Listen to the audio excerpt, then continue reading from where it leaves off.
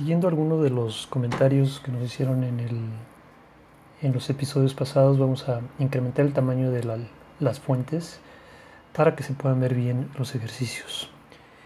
En el episodio de hoy vamos a entrar un poquito más a profundidad en relación con algunos de los tipos de datos y las operaciones que Python nos una decisión para poder pues programar y obtener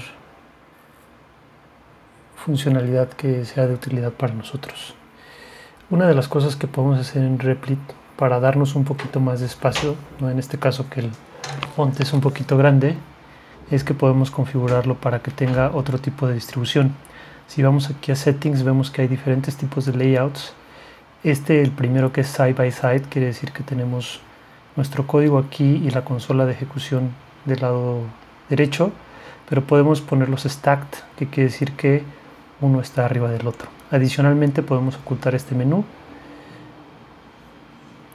oprimiendo ahí y tendremos muchísimo más espacio disponible. Entonces hay varios tipos de datos que, que podemos utilizar en Python. El primero, ya lo hemos visto, son las cadenas. Y una cadena es una concatenación de caracteres. Por ejemplo, esta es una cadena. Acuérdense que puede estar entre comillas dobles o también puede estar entre comillas sencillas. Y vimos que hay un tipo de cadenas que son las f-string, empiezan con f, que pueden estar entre comillas dobles, también comillas sencillas. Ya vimos un poquito para qué sirve, vamos a repasar algunas cosas adicionales. Otro tipo de dato que tenemos son los numéricos, que básicamente uno serían los enteros, que son los integers, por ejemplo 55, pero también existen los floats, que son los flotantes. La característica es que tienen algún punto decimal. Y finalmente tenemos los booleanos. Pueden ser valores como true. Importante recalcar que es true con eh, la primera T mayúscula. O que también puede ser false. Estos solo existen dos valores. Ahora, cuando hacemos operaciones, que hemos visto algunas operaciones, por ejemplo, la operación, las básicas, ¿no? que son suma, resta, multiplicación, si se fijan no es una X, es un asterisco, la división, hay otra división que se hace con una doble diagonal. Ahorita les voy a explicar qué es lo que hace. Y existen otras. Entonces, um, vamos a tratar de correr esto. No nos debería dar nada porque no estamos haciendo ningún print. Simplemente estamos pues poniendo los tipos de datos. Pero algo importante aquí es algunas operaciones, por ejemplo, la de suma aplica para cadenas. ¿De acuerdo? Y si se acuerdan, cuando aplicamos una suma en cadenas, vamos a imprimir el resultado de esta operación. Cadena 1 más cadena 2. El resultado es la concatenación de ambas. Las está juntando, aquí dejé un espacio, si quito espacio, las está concatenando. ¿Qué sucede si trato de hacer una suma de una cadena o de un string con otro tipo de dato, por ejemplo, con un integer. Me va a decir Python es que hay un error de tipos y que solo puedo concatenar strings a strings, ¿de acuerdo? No puedo concatenar un string con un int. Un error común que, puede sucedernos es que tratemos de sumar una cadena con un int o con un entero y que pensemos que porque esa cadena está o contiene un entero o puros enteros, por ejemplo, si tuviera este un 11 más 1, en algunos casos podríamos pensar, ah, bueno, lo que aquí me va a dar es un 12, ¿no? O lo que me va a dar es un 111. Pero en todos los casos, como lo acabamos de ver, nos va a dar un error de tipo. Ahora, ¿qué sucede si yo cambio esto de esta forma? Ahí me va a dar 111 porque sí está concatenando dos cadenas, simplemente las está uniendo y es lo mismo que si yo hiciera esto. Lo mismo va a suceder con otros tipos de datos. Pero, en este caso, por ejemplo, es un entero. Si le sumamos un 1 que es otro entero, en esta situación la operación sí es permitida entre estos dos tipos de datos. Podemos hacer algunos experimentos.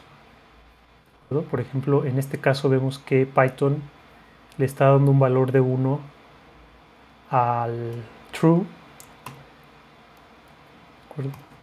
1 y al false le da un valor de 0 true es igual a 1 y false es igual a 0 entonces si yo aquí sumo false pues esto me imprimiría el mismo 55 entonces vemos que en algunos tipos de operaciones sí se permite la suma entre tipos true false me va a dar 1 porque es 1 más 0 y también desde luego es posible hacer enteros más flotantes. Aquí me da 56.5 como me lo hubiera esperado. Es importante pues distinguir que prácticamente creo que la única que nos faltó probar que lo vamos a hacer ahorita verdadero y le vamos a sumar true. Esto debería dar un error de acuerdo porque como vimos esto lo considero un entero es un 1 y aquí sí me da un error de tipo de, de dato. ¿qué sucede con las f-strings? las f-strings si yo quisiera aquí imprimir por ejemplo hago una operación de propina es igual a eh, el total de cuenta multiplicado por 0.15 y el total vamos a suponer que me gasté 100 pesos. Entonces la propina si quiero imprimirla la propina es de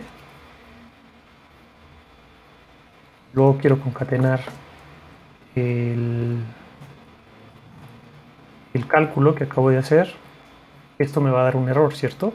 Porque estoy tratando de concatenar un string o una cadena con un valor que es un flotante. ¿De acuerdo? Esta operación me regresa en este caso un flotante porque va a tener punto decimal. Esto es un error. Si yo quisiera hacerlo, tendría que convertir este valor a una cadena. Y la función que habíamos visto, que utilizaba como finalidad, era el str. Entonces aquí ya es, está permitiéndome la concatenación, pero hay una forma mucho más sencilla de hacerlo con los f-strings, ya lo habíamos visto. Creo un f-string, voy a poner exactamente lo mismo, la es de aquí no necesito sumar ni convertir a string simplemente voy a poner llaves y variable y el resto de mi cadena y eso me va a permitir imprimir exactamente lo mismo. Es mucho más legible esta forma de hacerlo y no tengo que hacer la conversión. Python va a hacer eh, la conversión a cadena de manera automática utilizando string pero ya me ahorré esta notación que está aquí, esta suma y el tener que convertir explícitamente mi variable a string. Entonces por eso las f-strings en este caso son mucho más valiosas. Así como convertí string, hay otras funciones de conversión. Por ejemplo, si quisiera yo convertir, ¿qué pasa si tengo el ejemplo que pusimos hace rato? Resultado igual a 111 Esto es un error porque no son del mismo tipo de dato, pero yo puedo convertir esa cadena a un entero. Entonces, si quisiera hacer, vamos a detener esto. Y otra vez ya me está dando el error de conexión. Voy a cambiarme. Stop. Me dice línea 16. Resultado aquí, si se fijan, no ha actualizado. No ha actualizado. No puedo guardar files. Yo espero que ya esté. Voy a recargar esto. Ok. Entonces voy a correrlo de nuevo. Y aquí voy a imprimir el resultado. En este caso estoy haciendo la conversión de este string a un entero y la conversión me da como resultado 111, luego le sumo 1 y ya me da 112. Entonces, así como está esta función que convierte un entero a un, o un flotante a un string, tengo esta que convierte un eh, string a un entero. Y lo mismo va a suceder si quisiera yo convertir el true que ya habíamos dicho que vale 1 viendo voy a comentar todos estos. Pero también eh, puedo convertir por ejemplo qué pasa si convierto imprimir int de una cadena que sea 111.55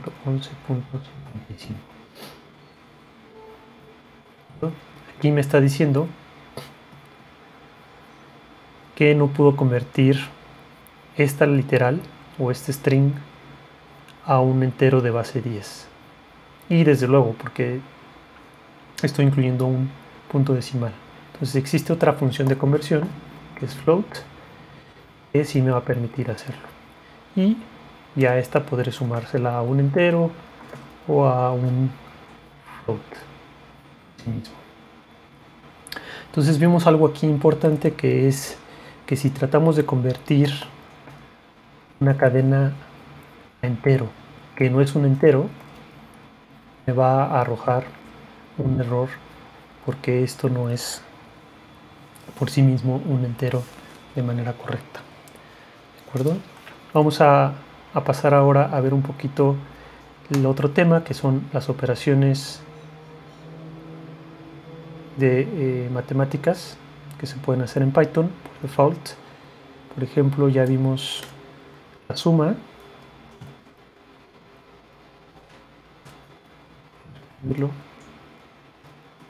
Es nada distinto a lo que hubiéramos esperado. La resta va a dar un 4. Luego tenemos la multiplicación, que ya dijimos que es un asterisco 2 por 8 nos va a dar 16. Luego tenemos la división. Es importante decir que en las versiones recientes de Python la división siempre nos va a regresar un flotante.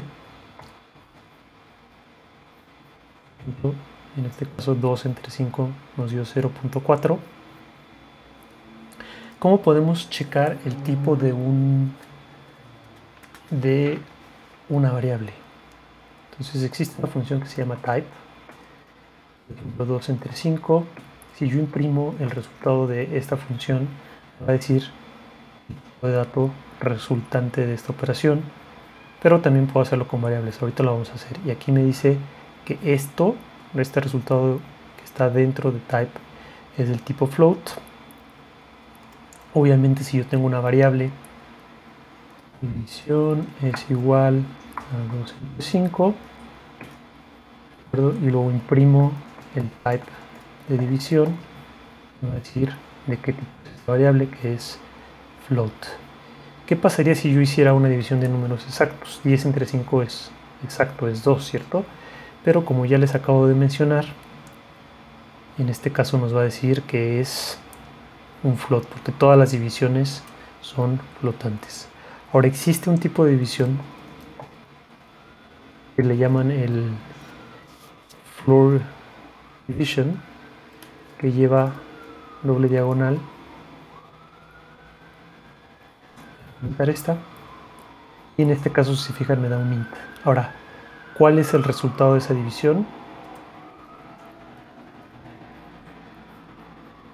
Es 2. En este caso es exacto, pero hagamos una distinta. Dividámoslos entre 3. 3. La división normal.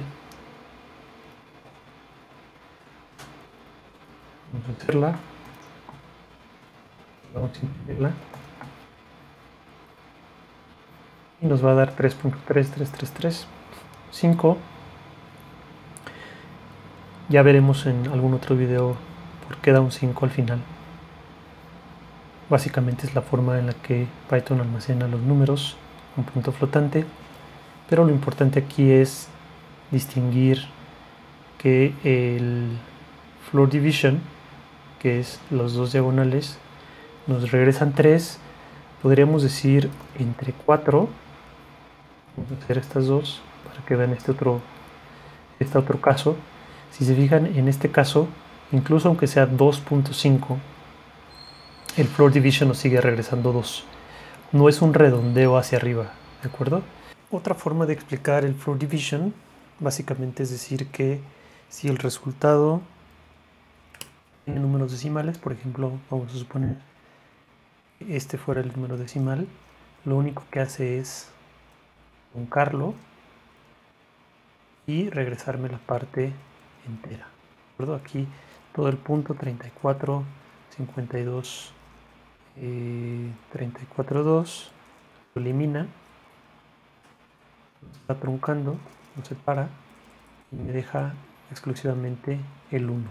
Hay una función que hace eso en Python que se llama floor. Si yo le pongo ese número que, dijimos y lo imprimo, eh, me va justamente a devolver. Es, parte de una biblioteca. Ya veremos en los siguientes videos que, a qué nos ayudan las bibliotecas. Si yo imprimiera esta función, ¿de acuerdo? Me va a regresar eso que dijimos, lo separa y lo, y lo lleva al entero menor siguiente, ¿de acuerdo? Por eso se llama floor, porque lo lleva hacia abajo. Hay otra que se llama ceiling, que ya en otro video específico de, de esta librería lo veremos, pero esto hace exactamente lo contrario, que es llevarlo siguiente Entonces en este caso me da 2, independientemente de que esté arriba o abajo del, punto 5, como se podría esperar con algunas funciones de redondeo. De hecho, la función round, que esa ni siquiera pertenece a la librería de math, sino es de la librería estándar de Python, tiene algún comportamiento muy específico que en este momento no vamos a detallar pero por ejemplo, si ustedes redondearan 2.5, vamos a para que lo vean. Lo que normalmente esperaríamos es que fuera 3, ¿no? Porque esperaríamos que cualquier número mayor o igual a 5 lo llevara a la siguiente unidad. Pero hay una implementación específica de, esta función de redondeo que tiene que ver con em, algunas funciones estadísticas y con mantener el redondeo de una muestra aleatoria de números centrada alrededor de, pues de un promedio que hace que, por ejemplo, si yo imprimo el round de 3.5 y fuera consistente, estaría esperando que fuera 3, ¿cierto? Pero en este caso va a ser 4. Y bueno, se los voy a explicar rápidamente, pero después haré un video más detallado. El tema es que está redondeando hacia arriba, no, no, no redondea hacia arriba o hacia abajo, sino que redondea al siguiente número par. ¿De acuerdo? Entonces en este caso, si se fijan, punto 5 en realidad está a la mitad entre el 2 y el 3. ¿Por qué debería convertirlo el 3? ¿no? Es, un, es una consideración relativamente arbitraria. Entonces, para balancear el hecho de que algunos de los números los va a redondear hacia arriba.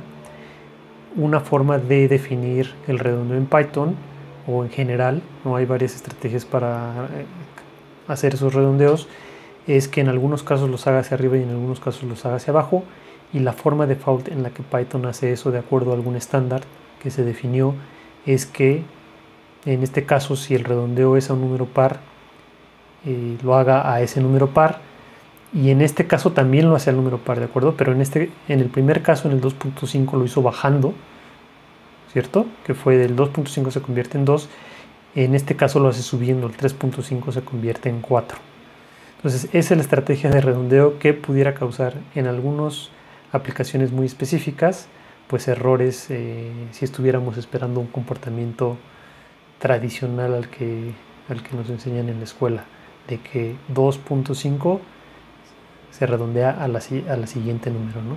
que sería 3 en este caso. Perfecto. ¿Qué otras cosas podemos hacer? Además de, nos falta alguna operación, habíamos visto suma, resta, multiplicación, división, vimos la floor division y la otra es eh, la exponenciación. Entonces 2 al cuadrado se hace de esta manera con dos asteriscos. Me tendría que dar 4. Si quisiera yo dividir, por ejemplo, perdón, sacar raíz cuadrada de un número, entonces podría decir 9 elevado a la que a la 1 medio, ¿cierto? Entonces, me tiene que dar 3. Entonces, esta es raíz cuadrada y, al cuadrado, ¿cierto? Y finalmente hay otra que se llama módulo, es el porcentaje. Entonces, y es módulo 3, ¿de acuerdo? lo que me da es 1, que quiere decir que es 10 lo divido entre 3 me da 9 y 10 menos 9 es 1. Entonces el residuo de la división antes de que se vaya a decimales, ¿cierto? Este es otro que se utiliza de manera frecuente para hacer conteos de X número de números en un ciclo donde los números van incrementándose de uno en uno. Ya veremos también algunos ejemplos de, de esto. Es importante decir que, al igual que cuando nos enseñaron a hacer operaciones matemáticas en la escuela, los lenguajes de programación tienen ciertas prioridades o cierto orden de precedencia. Entonces hay ejemplos pues por ahí que te dicen cuánto es el resultado de 3 más 5 por 2 4 más 20. Entonces hay, hay un orden de precedencia y ese orden de precedencia lo que me indica es cómo debo resolver las operaciones. Y eh, en el caso aquí ahí tengo varias operaciones, una suma, una multiplicación, una división, otra suma. Entonces en general lo que voy a hacer primero es raíces cuadradas o, exponenciaciones, el cuadrado entonces tengo esto. Luego en el siguiente orden van a estar la multiplicación y la división. En el siguiente orden van a estar la suma y la resta. Y cuando por ejemplo en este caso tengo de todas estas operaciones cuáles tendría que hacer primero tendría que hacer primero las que sean de mayor orden. Son mi división. Tengo una multiplicación de 5 por 2 y luego una división de 2 entre 4. ¿Cuál de estas dos debería ser primero? La primera que voy a hacer va a ser la que está de izquierda a derecha en primera posición. Por lo tanto, primero haría el 5 por 2, que me va a dar 10, luego lo voy a dividir entre 4, que me va a dar 2.5. De ahí voy a hacer eh, la suma con el 3, que me va a dar 5.5, y finalmente la suma con el 20, que me da, va a dar 25.5 si no me equivoco entonces vamos a imprimirla a ver si es correcto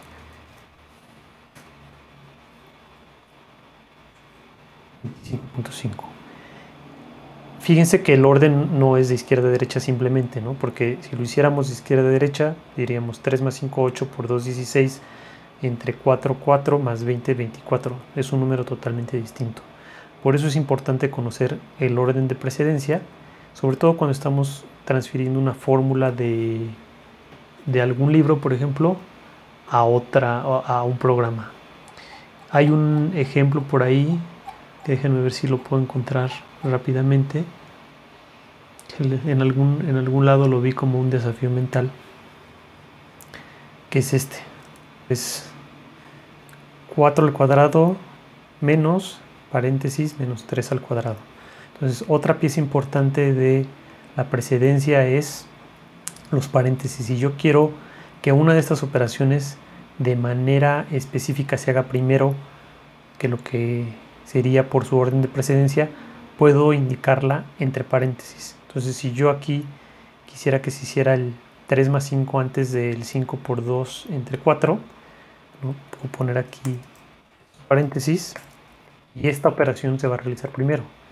Después siguen los otros órdenes de precedencia. Entonces 3 más 5 es 8, lo va a multiplicar por 2 porque es precedente sobre el resto de las operaciones. 16 entre 4, 4 más 20, 24. Ahí está el 24. Entonces es muy importante que podamos ir, por ejemplo, aquí yo podría poner este paréntesis en ese lugar. Hagan como ejercicio, pongan pausa al video y díganme cuánto daría esta operación sin ponerla en su replit para ver si les da lo que están pensando. Y regresen una vez que tengan el resultado. Perfecto. Entonces vamos a hacer las órdenes de precedencia. Yo pondría aquí, obviamente, primero están los paréntesis.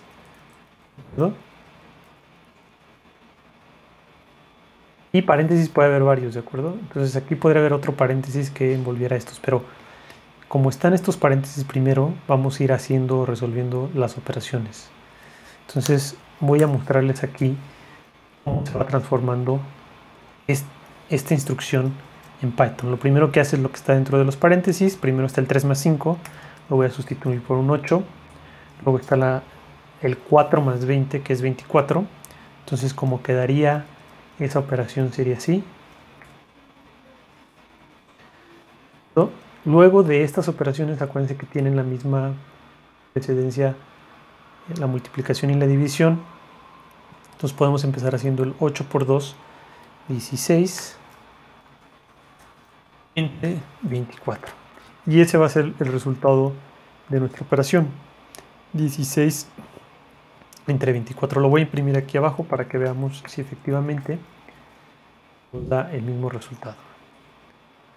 En ambos casos nos da 0.66666.